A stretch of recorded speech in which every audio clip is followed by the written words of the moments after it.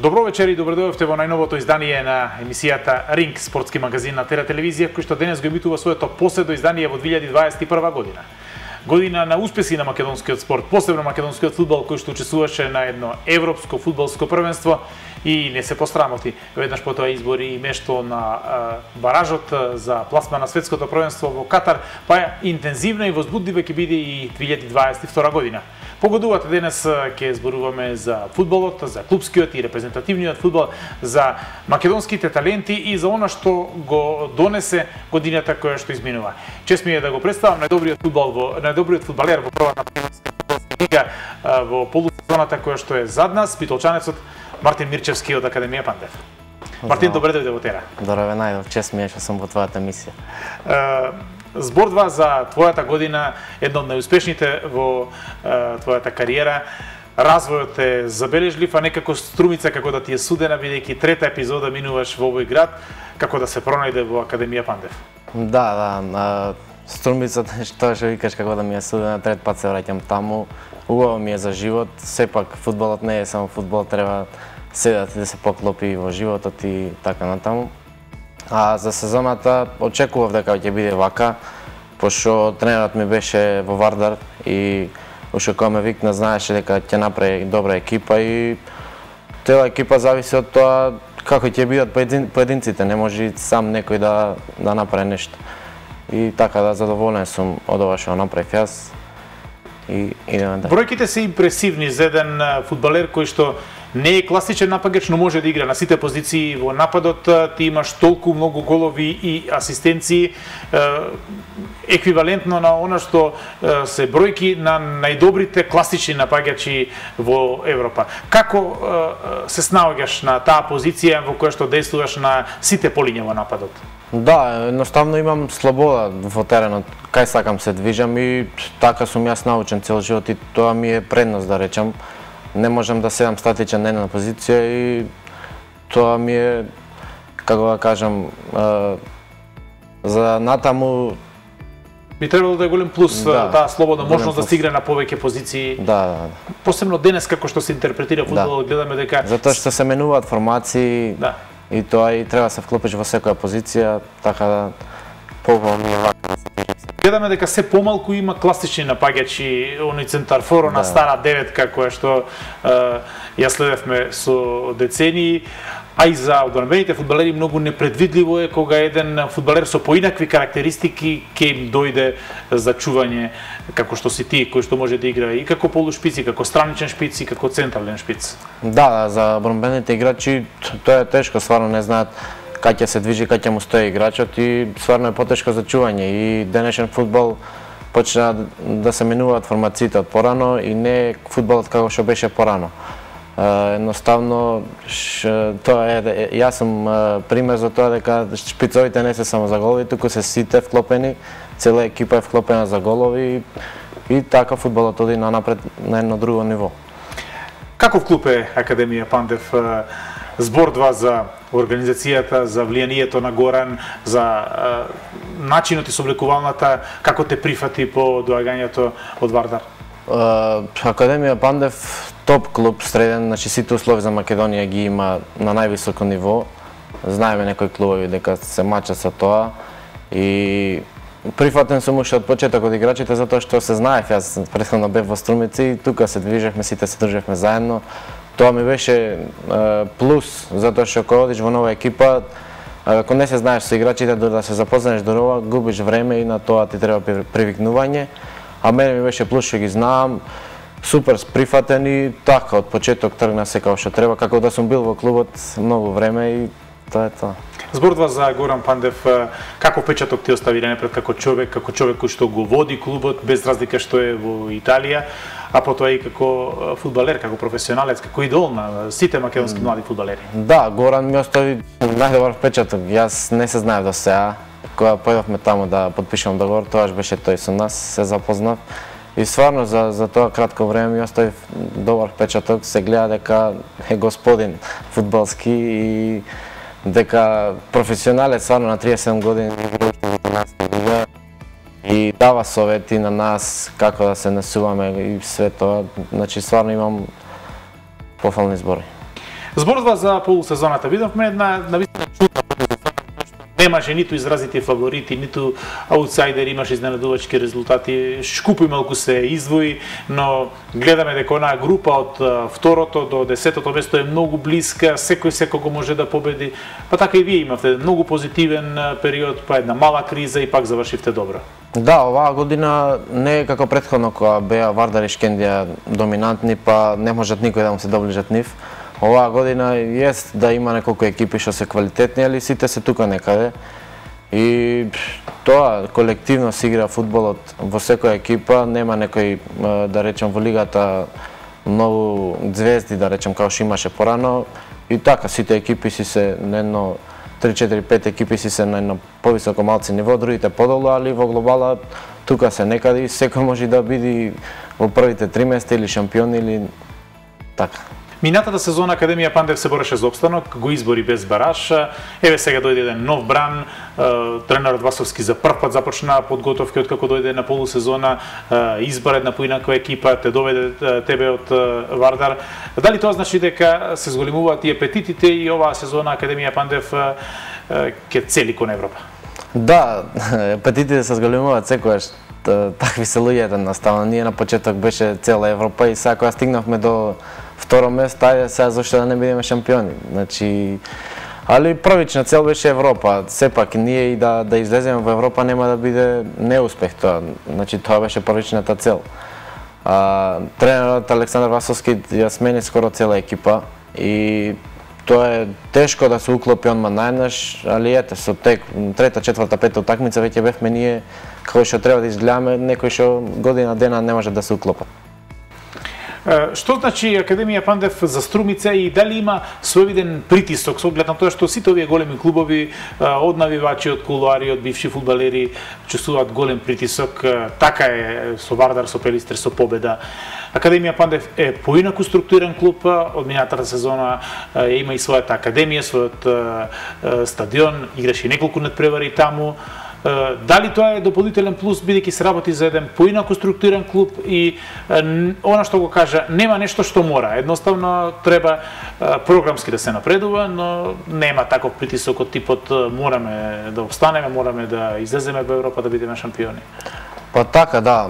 Во Академија нема стварно притисок. Јас играв и во Вардар и во Пелистер, таму е стварно од аспект голем притисокот и секој такмица мораш да победуваш али во академија нема притисок и не се бара тоа ти што викаш дека мора, ама е, е, затоа и играчите имаше академија некои косторни играчи кои што беа таму 5, 6, 7 години и некако беа навикнати на тоа ниво без притисок и без тоа. И сега тренерот кога дојде го промени малце тоа и затоа мислам дека пак академија се крена на едно високо ниво. Затоа што пред тоа без притисок која има некои играчи се едно му е да речам дали ќе биде горе или ќе биде за испаѓање или тоа е тоа.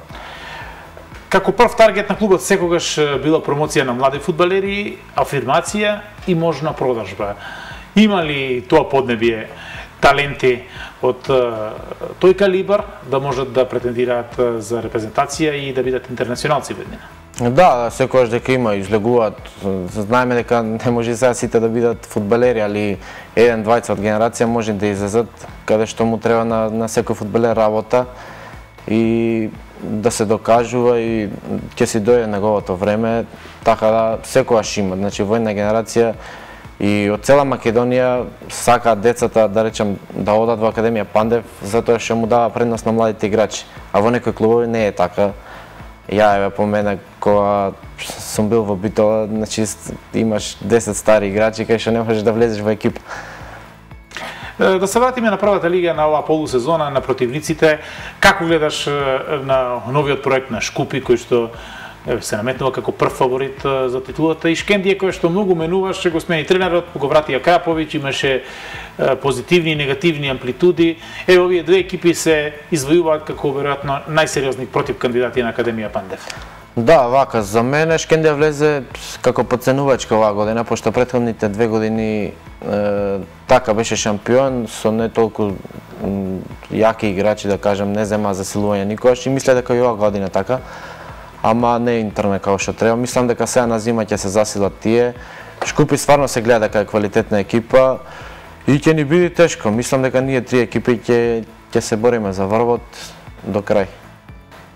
Една од темите која што често ја начнуваме кога разговараме со фудбалери, фудбалски работници се инфраструктурните проблеми и квалитетот на терените во првата македонска фудбалска лига. Струмичани може би најмалку имаат проблеми со тоа, бидејќи имаат квалитетни терени и имаат меки зими, па видовме во последните неколку кола таму каде што не можеше да се игра во Струмица како така се играше.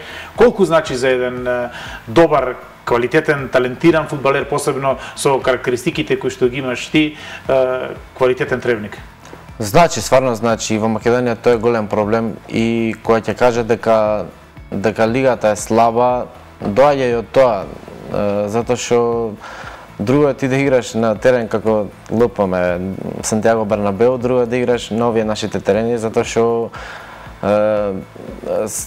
ќе има како да кажем, ќе заврни дожд, снег, нешто и теренот не е како што треба, не може да се игра како што треба. А Академија Пандев има свој камп, тоа ни е предност. Редко го имаат во Македонија кампови. И главен терен на кој што играме е Беласица и сварно тревникот е како што треба. И тоа мислам дека ни е предност кога играме на домашен терен. Голем е теренот и можеш да расшириш екипата и така да си се движи се како што треба. Зборува за твоите предходни искуства релативно млаци, но промени многу клубови од матичниот Перистер, па една одлична сезона во Варда, каде што остави трага во еден тим кој што беше составен во последен момент. Два пати беше прво име и во Беласици, имаше едно искуство и во Косово. Какви какви препораки, какви искуства носиш од секоја од секоја од овие средини? Вака, ќе почнем со Пелистер, таму почнав, да дебитирав на 16 години и на почеток се си одеше како што треба. Јас почнав и да играм стандардно и све. Се додека е, таму на 19 години не се смена буквално све во клубот. Доја нови власници и тоа и некако остана во втор план. Тоа е одлука нивна и така требало да биде. И решив дека треба да си заминам јас едноставно од клубот, дека не можам таму веќе да играм или тоа да напредувам. И се барав сами од себе си многу време. Отидов во победа прво, исто и таму не можев да играм. Не играв, слабо играв. И Беласица после отидов, таму ми се смени све.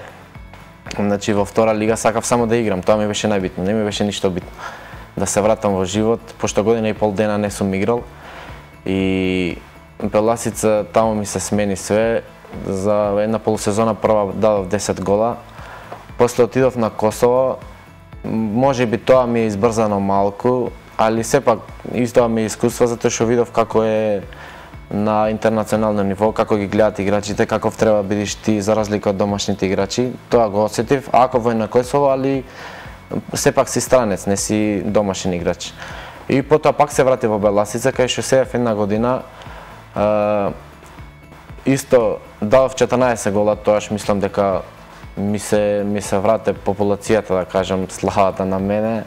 И е, после тоа фати корона, па до лето не се играше, се заврши ова, ние влеговме прва лига и после се појави Вардар дека ме бара и тука се двоумев дали да одам во Вардар, дали не, и сепак одлучив да одам и мислам дека добро испадна за мене.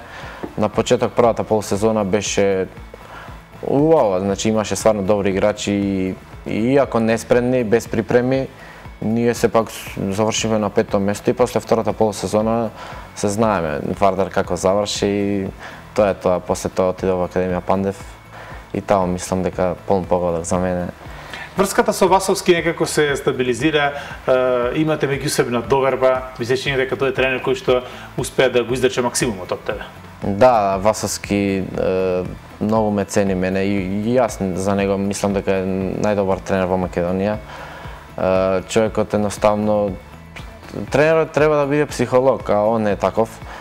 И мислам дека кај него јас сум подруг играч. Така се опуштев едноставно уште на почеток и он има доверба во мене и јас во него и така затоа има резултати и играчот се осеќа подобро, помотивиране, порелаксиран е, и така може да дава подобри игри. Го спомна искуството во Косово, но начинот како што играш во последните две сезони е веројатно буди интереси од многу попопуларни фудбалски средини за твоите услуги. Се гледаш ли во блиски дена повторно надвор, веројатно уште оваа зима пристигнуваат понуди на твоја адреса, на адреса на твојот клуб. Има ли погоден момент сега да се замине во странство? Да, да, пристигнуваат сега понуди, стварно има заинтересирани клубови, али се тоа треба заедно да одлучиме и Академија Пандев како клуб и јас и сите околу мене што ќе биде најдобро за мене и тоа едноставно не е само да замениш негде во клуб, треба све да се поклопи како што треба, така да не брзам што ќе биде нека биде. Годината која што изминува беше многу плодна за нашата фудбалска репрезентација, па и за младите категории за кои што ти постојано настапуваше во периодот на развој.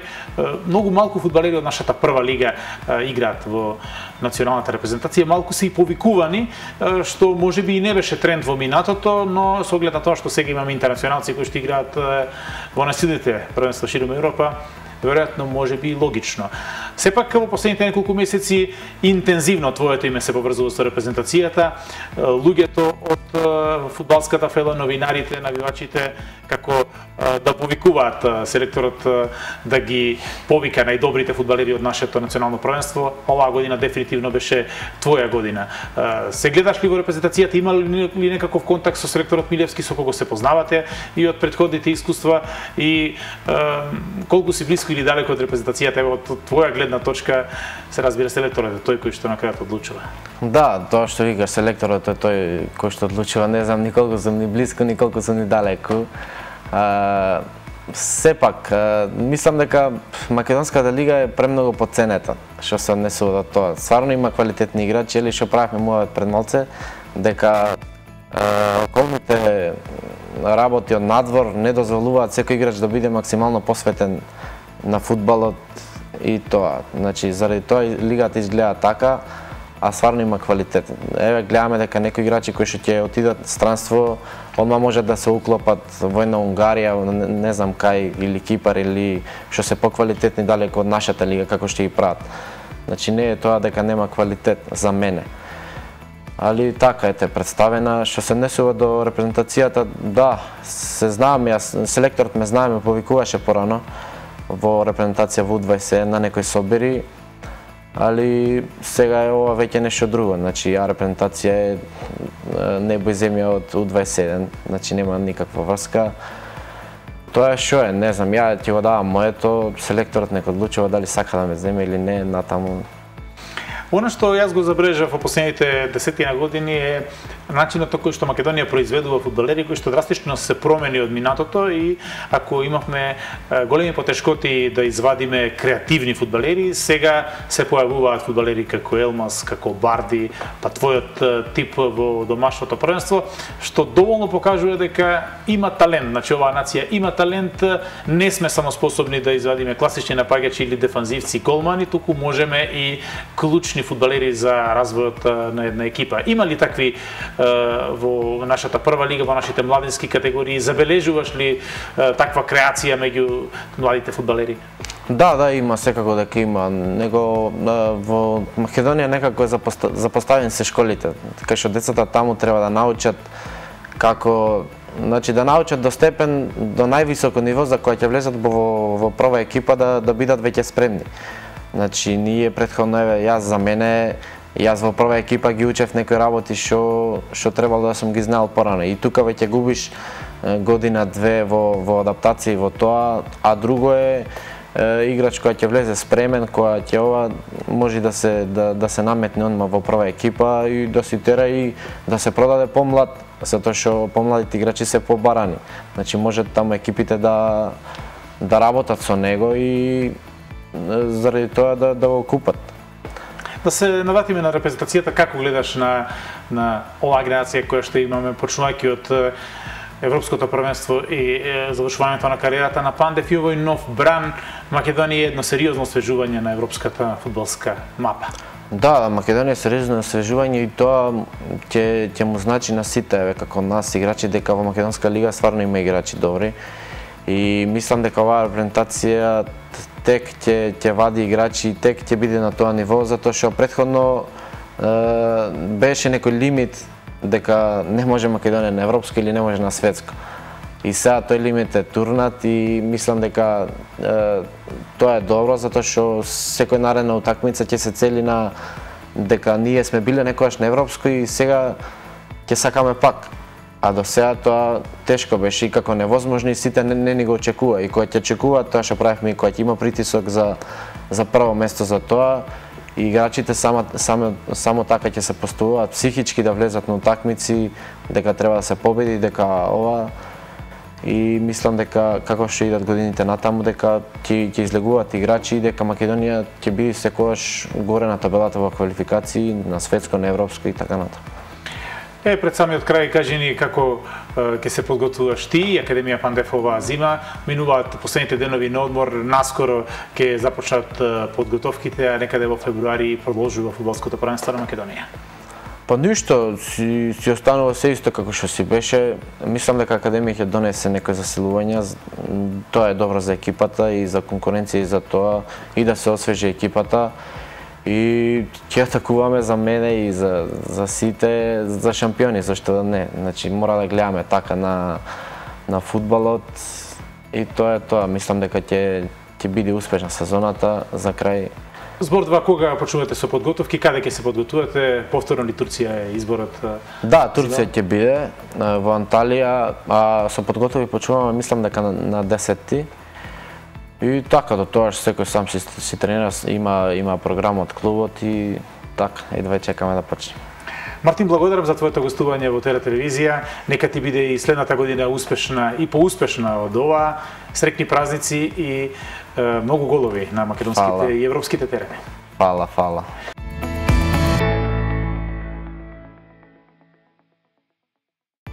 Почитувани гледачи, тоа беше се за денешното издание на Ринг на Тера телевизија.